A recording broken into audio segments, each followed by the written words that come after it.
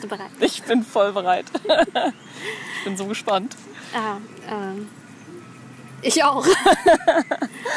Danke dir, äh, dass du dir die Zeit genommen hast. Gerne. Ähm, wir kennen uns ja ziemlich gut. Und ziemlich ich, lange. Genau, und ich glaube, ich, ich äh, sage dir auch bei jedem Buch, was ich gut finde, hey Eileen, hier, das Buch ist toll. Mhm. ist cool. Deswegen äh, ist es gar nicht so einfach gewesen, ein Buch für dich zu finden. Ich werde angeflogen. Ähm, genau, also ich zeige dir jetzt, was ich mir ausgesucht habe. Du musst mir sagen, wenn du es schon kennst, Mhm. Okay. weil sonst kannst du ja keinen ersten Eindruck ja, geben. Das stimmt. Ähm, Ah, es ist äh, von Marta Bevacqua. ich kenne sie vom Namen her. Ich weiß, dass wir sie schon im Magazin vorgestellt haben. Ich glaube, ich bin ihr sogar vor ungefähr gefühlt 20 Jahren damals auf Deviant Art gefolgt. Also gefühlt eine Ewigkeit her. Aber ich habe wirklich noch nie ein Buch von ihr in der Hand gehabt. Von daher, Ich weiß auch gar nicht, ob sie noch andere Bücher hat oder ob das das erste das ist. kann sein, ja. Weißt du, von wann es ist? Ist es jetzt neu oder? Das hat, ja genau, das hatte ich, glaube letztes Jahr, Ende letzten Jahres gekauft. Okay. Ich bin gespannt, weil ich habe echt nur so ein ganz vages Bild im Kopf. Also ich habe mich lange nicht mehr aktiv mit ihr beschäftigt. Genau, aber Fall. dass du ihr immer gefolgt bist, heißt ja, du magst ihre Bilder. aber es ist halt schon lange her. Ne? Manchmal hast du ja den Mhm. Effekt, dass du jemanden cool findest und nach fünf Jahren denkst du, die Richtung, in die sich jemand entwickelt, interessiert mich einfach nicht mehr. Oder, Oder man entwickelt sich selber, ja. genau. Also gerade sowas, ne? Frauen in Büschen. Habe ich ja selber lange genug gemacht. Spricht mich auch immer noch an, aber es ist dann oft so, okay, Frau im Busch. Ja, wobei das ja jetzt nicht so funktioniert wie die typischen Ja, ja, das stimmt schon. Aber so vom Frauen in Muster her. Büschen. Ja. Gibt auch dieses Buch äh, Frauen im Bäumen. Ja, Äh, könnte man weiter folgen, ver verfolgen. Das sind ja echt ältere Bilder. genau, das war eine Sammlung von Flohmarktfunden, glaube Genau. ich. ne? Ja. Könnte man heutzutage immer noch machen. Wir sind draußen. Es passt super zum Thema. Also wir könnten direkt losgehen und hier äh, entsprechende Bilder aufnehmen. Es passt natürlich total in das äh, Klischee, was man so ein bisschen hat, ne? Inwiefern? Von Frauen fotografieren Frauen, so ein bisschen gefühlig, ein bisschen draußen, im Feld, so der Klassiker. Das hat dann schon wieder einen anderen Dreh, das finde ich gut, dass es nicht nur, nicht nur Frau in der Natur ist. Ja. Ist das Runa? Mhm. Aha, cool. Das ist als Konzept natürlich witzig. Wie hat sie das gemacht? Das ist irgendwie aufgemalt, oder? Ich weiß Unklar. nicht. In diesem Buch gibt es keinen Text. Ja, oh, das ist ja. Deswegen denke ich halt, das ist. Ja. Ja, das ist eine. Es gibt auch so ein paar Sammlung. einzelne, ich glaube, das gehört dazu, was mir jetzt auch bekannt vorkommt, wo ich sagen würde, okay, ich glaube, das zum Beispiel ist deutlich älter. Wenn es mir bekannt vorkommt, muss es schon älter Ja. sein. Ja, sie zeigt halt auch äh, sehr, sehr viele Bilder auf Social Media, Instagram Mhm. oder ich weiß auch gar nicht, ob sie auf Facebook ist, aber auf jeden Fall ähm, Instagram kenne ich sie. Mhm. Und daher kannte ich schon sehr viele Bilder, die jetzt auch im Buch sind. Ich glaube, das war jetzt eins der ersten, wo ich sagen würde, ja, doch, das kommt mir bekannt vor.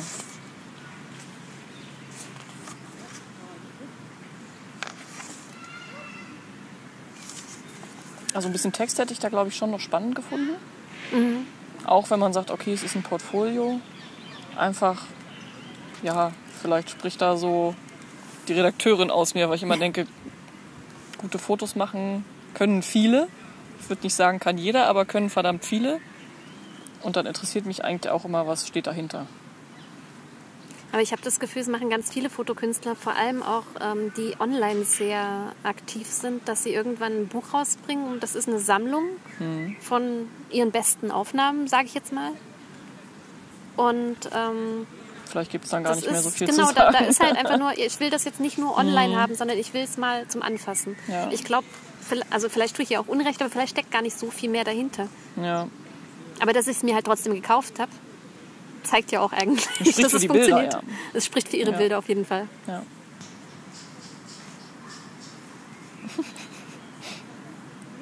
Das ist witzig.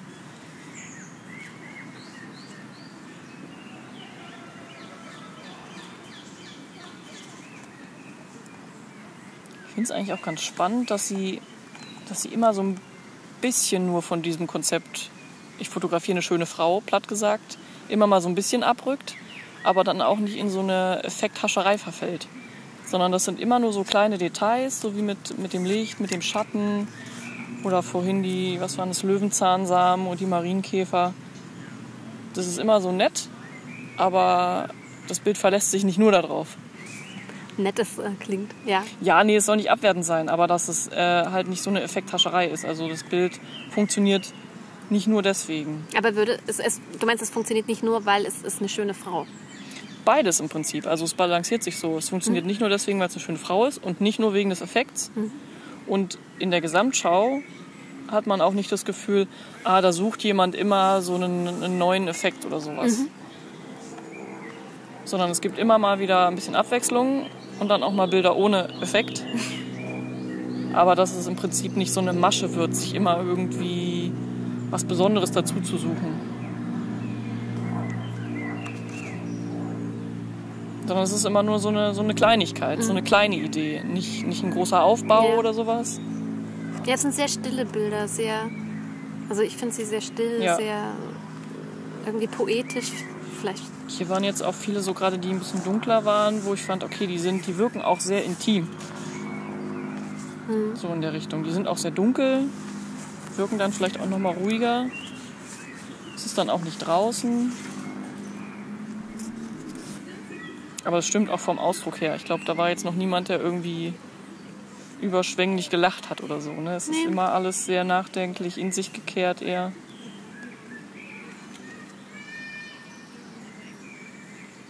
Sowas finde ich eigentlich auch einen coolen Gegensatz. Also das mal auf eine Doppelseite zu bringen. Mhm. Aber genau sowas zum Beispiel nebeneinander zu stellen, das macht dann schon Spaß. Mhm.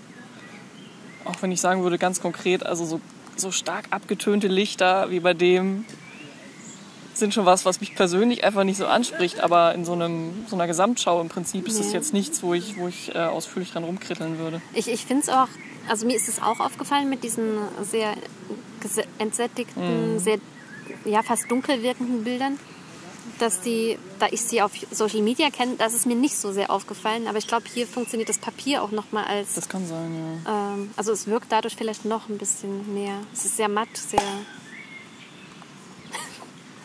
Aber auch sehr, äh, sehr weiß, ne? Also es jetzt, hat jetzt nicht ja, irgendwie stimmt. ein Naturweiß. Also vielleicht wirkt es dadurch noch mal entsättigter. Vielleicht, ne? Weil der Kontrast gegen das Weiß so groß ist. Das ist natürlich auch eine super Doppelseite. also sowas. Ist super. Ja. Find's, äh, also es gibt ja tatsächlich viele, du hast ja auch gesagt, du kennst solche Bilder, ähm, viele KünstlerInnen, die so arbeiten. Ja. Und gerade den Frauen wird dann auch oft vorgeworfen, ah, du fotografierst nur junge, hübsche Frauen. Mhm.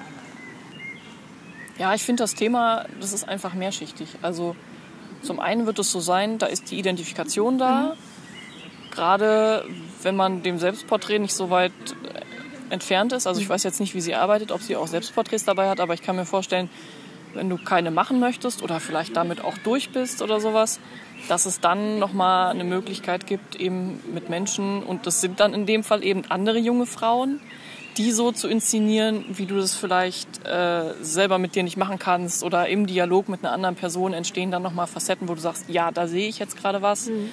äh, was mir irgendwie aus der Seele spricht oder kann ja einfach ein Gefühl sein, von mhm. dem man sagt, ja, Mensch, sowas würde ich vielleicht als Selbstporträt machen.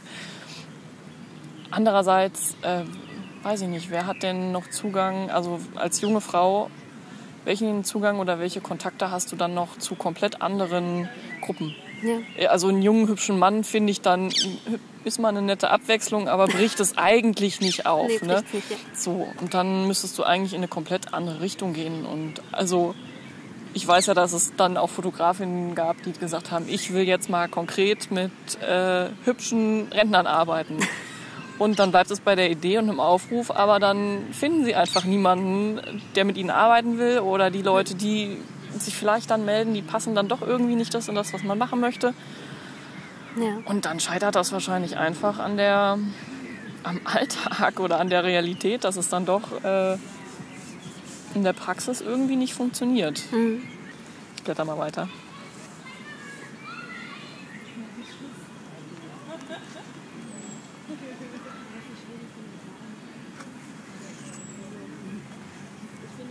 Bleib dabei. Es sind nette, also nett im positiven Sinn, nette Details und Effekte, die aber nicht Effekthascherei sind, sondern total gut da reinpassen.